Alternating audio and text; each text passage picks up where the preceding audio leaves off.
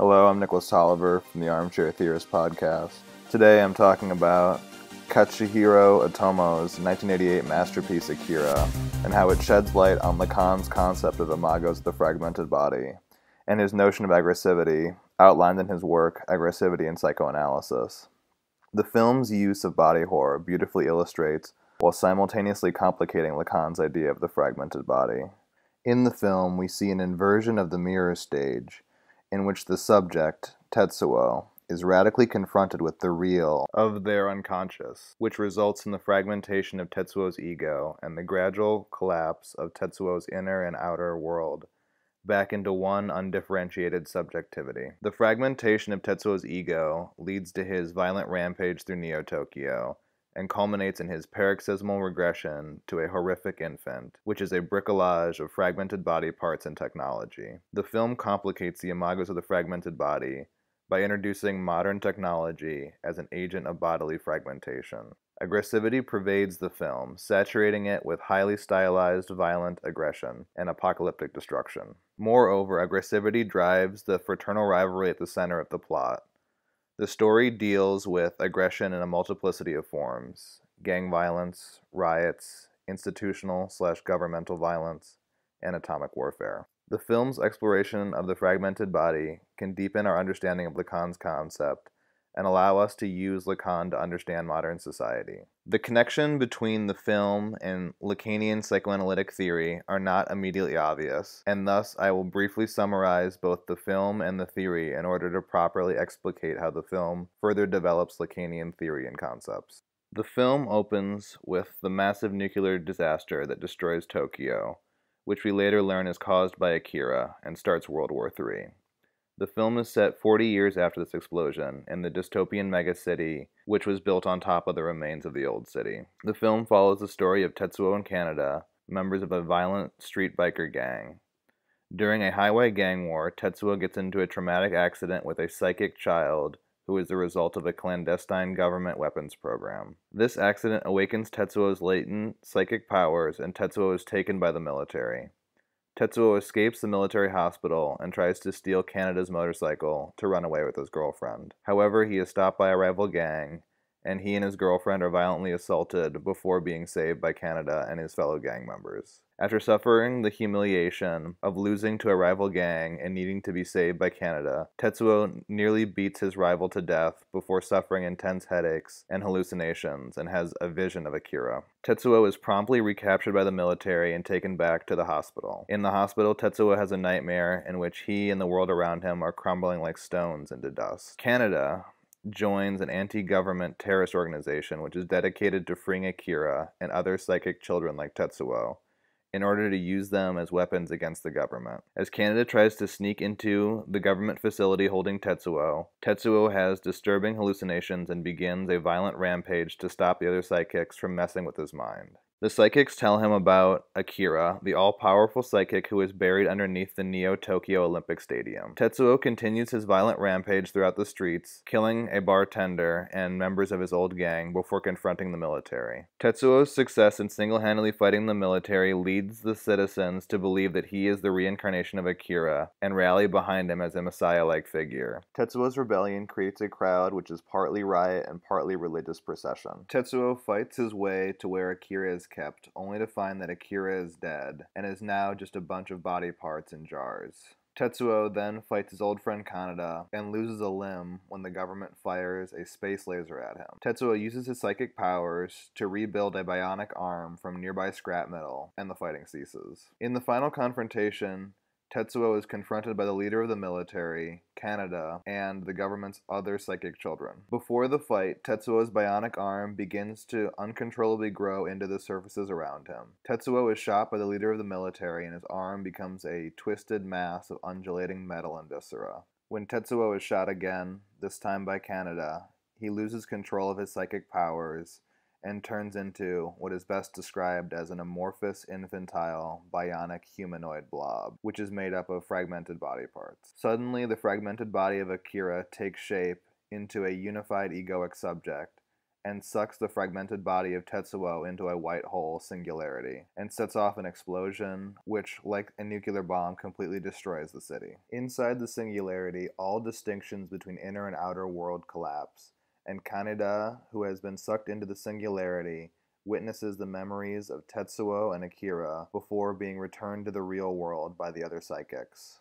In Aggressivity and Psychoanalysis, Lacan develops his theory of aggressivity and explicates his conception of imagos of the fragmented body. Lacan identifies aggressivity as a byproduct of the formation of the ego. For Lacan, the ego formation starts with the mirror stage, that is, the point at which an infant first recognizes themselves in the mirror. Lacan states that the mirror stage is a drama whose internal thrust is precipitated from insufficiency to anticipation, and which manufactures for the subject caught up in the lure of spatial identification the succession of fantasies that extend from a fragmented body image to a form of its totality that I shall call orthopedic. And lastly, to the assumption of the armor of an alienating identity, which will mark with its rigid structure the subject's entire mental development. According to Lacan, when the infant comes to recognize themselves in the mirror, they are caught up in the lure of spatial identification. They create a unified self image, an ideal ego. The infant internalizes the image of their mirrored double and identifies with that image. This is an integral step in the psychosexual development of the infant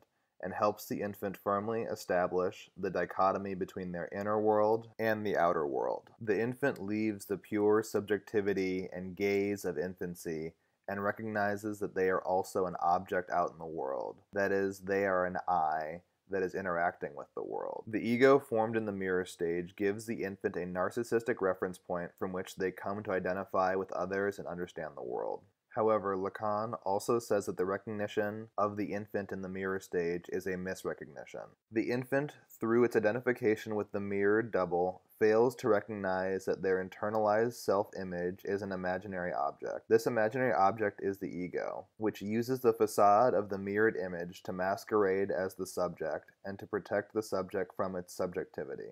When a subject feels that their ego or sense of self is threatened, they manifest aggressivity. This aggressivity also produces imagos of the fragmented body. Lacan states that aggressivity in experience is given to us as intended aggression and as an image of corporal dislocation. For Lacan, aggressivity is the underlying impulse of aggression, which Lacan defines as violence. However, aggressivity also encompasses a whole host of other actions and behaviors which are not normally categorized as aggressive, such as slips of the tongue, emotional reactions of anger, inflections, unfinished sentences, hesitations, recriminations, reproaches, and phantasmatic fears. Moreover, aggressivity can even be present in altruistic acts such as charity or pedagogy. Aggressivity is experienced as an image of corporal dislocation, a fragmented body which represents the dissolution of the ego to the subject, who has internalized the mirror image and has repressed the fragmentary nature of their subjectivity.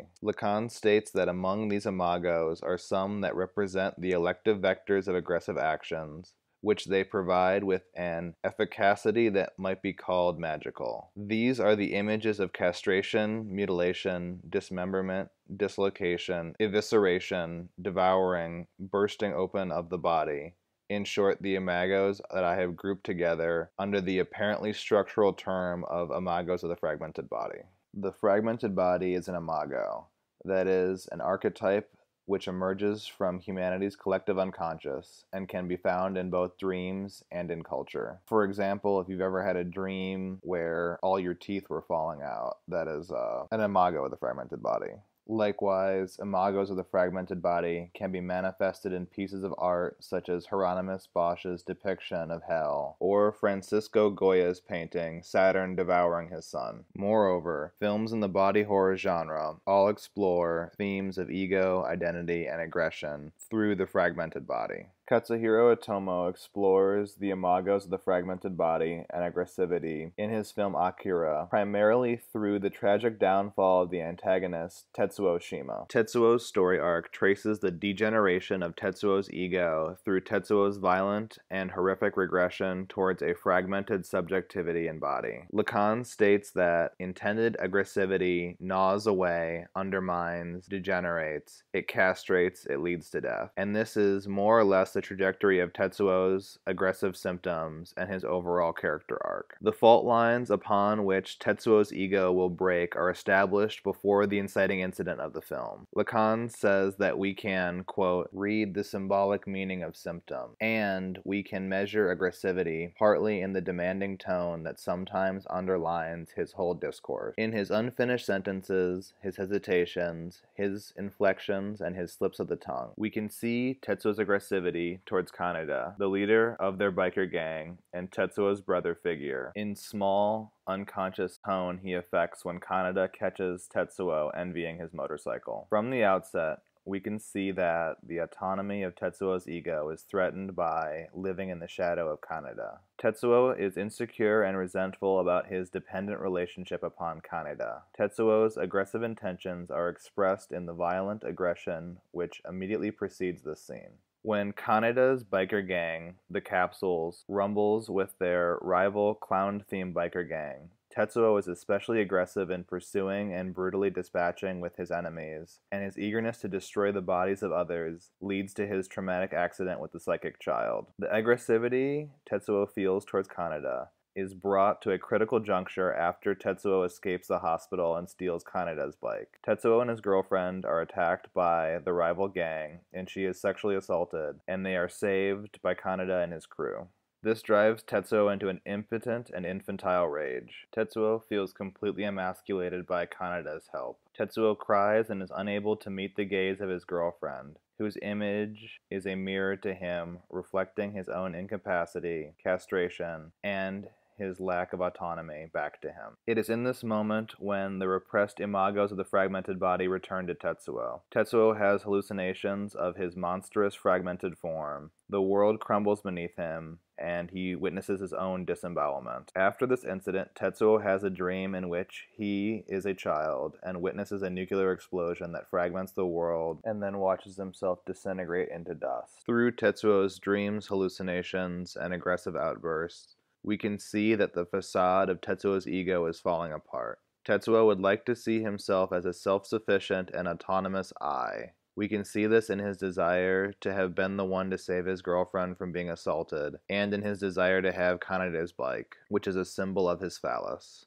However, like the infant looking at the mirror, Tetsuo is repressing his incapacity and lack of autonomy, which is unconsciously experienced as corporal dislocation. When Tetsuo's ego is confronted with his incapacity and his lack, his dreams and hallucinations register imagos of the fragmented body because his sense of self is so bound up in the unity of his ego and the internalized self image of his body, such that ego dissolution naturally results in an experience of fragmentation. Lacan states that quote, one only has to listen to children playing to know that the pulling off of the head and the ripping open of the belly are themes which occur spontaneously to their imaginations. That is corroborated by the experience of the doll torn to pieces. When Tetsuo hallucinates that his guts are spilling out onto the ground, or dreams that he is crumbling in a nuclear explosion, he is spontaneously experiencing an imago of the fragmented body. These imagos represent the subjective blow to his ego caused by trying to escape Neo Tokyo, only to be dominated by both his enemies and, paradoxically, by Kaneda, who saves him.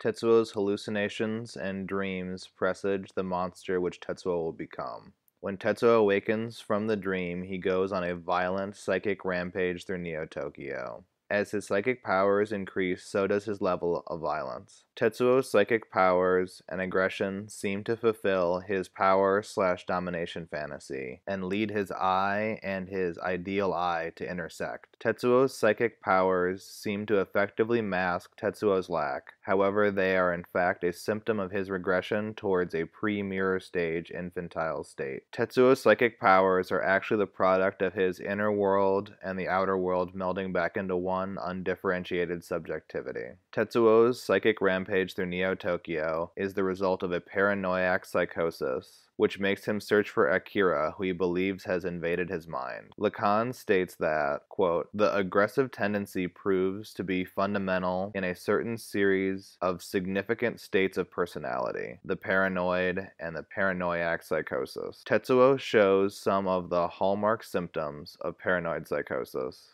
That is, he cannot separate his hallucinations from reality, and he lacks parents, but more importantly, he lacks the paternal function slash name of the father, which anchors his symbolic order. Lacan states that a subject's ego can never be reduced to his experienced identity. When a subject denies himself, and when he charges the other, he becomes confused and one discovers in him the paranoiac structure of the ego. Tetsuo's psychosis can be seen in his relationship to language. He believes that the words he hears in his mind are external communications and not internal thoughts. The Akira which Tetsuo feels inside his mind represents the paranoiac structure of knowledge. Tetsuo becomes increasingly alienated from his own psychically endowed ego, which he believes is under the influence of Akira. Tetsuo clings to his egoic, self constructed image as a unified subject. He denies his own fragmentary subjectivity, and in his denial, charges Akira with invading his mind. Akira also represents the object that could fill the hole in Tetsuo's symbolic order, and Akira is the key which allows Tetsuo to understand himself and the symbolic order. When Tetsuo finds Akira, he discovers that Akira is just a fragmented body. Akira's form hints at the truth of Tetsuo's subjectivity, but Tetsuo misrecognizes the significance of Akira's form. Shortly after his encounter with Akira, Tetsuo confronts Kaneda about their asymmetric relationship. They fight, and Tetsuo has his arm amputated by a space laser. Tetsuo uses his psychic power to build himself a bionic arm to supplement his lack of a limb. However, this bionic arm gradually colonizes his body and reaches into the things around him. During Tetsuo's violent outburst, he loses control of his psychic powers and grows like a cancerous cell, becoming a volatile blob of fragmented body parts, viscera, and technology. Tetsuo becomes an uncontrollable, horrific, infant esque monstrosity. Tetsuo actually becomes a fragmented body, reflecting the reality of his subjectivity, and regressing to a pre mirror stage infantile state by losing the unity of his ego and his body. Through Tetsuo's transformation, director Katsuhiro Otomo created a new imago of the fragmented body the bionic cancerous growth. This new imago reflects the alienating reality of modernity and technological advances. When Tetsuo incorporates the technology into his body, he attempts to fill his bodily lack in order to maintain the integrity of his ego and his self image as a non lacking subject. However, this technology colonizes his body and becomes an agent of bodily fragmentation through rapid and uncontrollable growth. Through Tetsuo's fragmented body, Otomo has developed a profound socioeconomic critique of our hyper capitalist modernity and its effects on our egos. Otomo's new imago represents the death drive of modern capitalist societies with their rapid technological integration and overgrowth. The imago of the bionic cancerous growth is a condensation of the unbounded economic growth and the totalitarian integration of technology into every aspect of our lives, which have defined the present hyper-capitalist zeitgeist. Otomo, through the bionic cancerous growth, is reflecting Japan's collective loss of identity and unified self-image during the Japanese economic miracle. The Japanese economic miracle was a period of record economic growth and technological and economic development for Japan between 1945 and 1991, which fundamentally changed Japan socially and culturally into something unrecognizable. Tetsuo's psychically built bionic arm is a metonymic substitute institute for technology and represents Japan's development into a high tech economy and society. The bionic arm, like Japan's high tech economy, was initially meant to supplement a lack, but has come to reshape and colonize the subject. The imago also evokes the horrible cancerous genetic mutations and deformations, which resulted from the nuclear bombings of Hiroshima and Nagasaki. The trauma of these nuclear holocausts is embedded and is often repressed within the collective psyche of Japan. The nuclear holocaust also represent the real of the horrific potential of technological advancement. The nuclear explosions which bookend the film represent the traumatic kernel of the real, which cannot be symbolized and which structure the symbolic order of Neo-Tokyo. The explosion at the end of the film is the hole in Tetsuo's symbolic order which which produces his psychosis. When the fragmented body of Akira forms a phantasmatic gestalt figure, Tetsuo is finally confronted with the real of his subjectivity and has the illusion of his ego shattered. When Tetsuo enters into the explosion slash singularity, he is brought into the matrix of pure gaze, which has no egoic reference point and no gazing object. The universe within this matrix represents the terminal endpoint of Tetsuo's regression into a pre mirror stage subjectivity, which is akin to the mystical oceanic feeling which Freud describes in Civilization and its discontents where Tetsuo's inner world and outer world have merged back into one undifferentiated and collective subjectivity, which is experienced by all those within the singularity. This singularity of the real has the impact of a nuclear bomb and completely obliterates the city of Neo Tokyo, annihilating both the symbolic order of Neo Tokyo and the imaginary of Tetsuo's ego. Katsuhiro Otomo's film Akira uniquely captures the horrific effects of psychosis, ego dissolution, and the imagos of the fragmented body on the subject through the character arc of Tetsuo. Otomo incisively critiques the ways in which our modern, urban, capitalist societies and technological development separate us from our egos and contribute to the fragmentation of our subjectivity. Otomo's film, created in 1988, was far ahead of its time. A pioneer in the cyberpunk genre, the film anticipates many of the alienating forces which threaten our egos and develops a unique imago of the fragmented body, which highlights our modern capitalist alienation. Thank you so much for watching. Please like, share, and subscribe, and follow us on Twitter to get updates on what we're cooking up and what the newest shows will be. We are a young and up and coming YouTube channel and really could use your support and would love your suggestions. Once again, I'm Nicholas Tolliver, and this has been The Armchair Theorist.